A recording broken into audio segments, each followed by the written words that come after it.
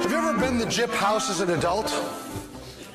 Have you ever run out of candy when kids were at your front door and you're forced to take something off your shelf? Here, uh, here, some Pennzoil, just go. Have you ever turned off your lights and ducked down on Halloween? You're an adult serpentining through your own house, pulling the shades down. You're on your belly, army crawling to safety. You're afraid of a six year old in the Casper mask, and you own the building.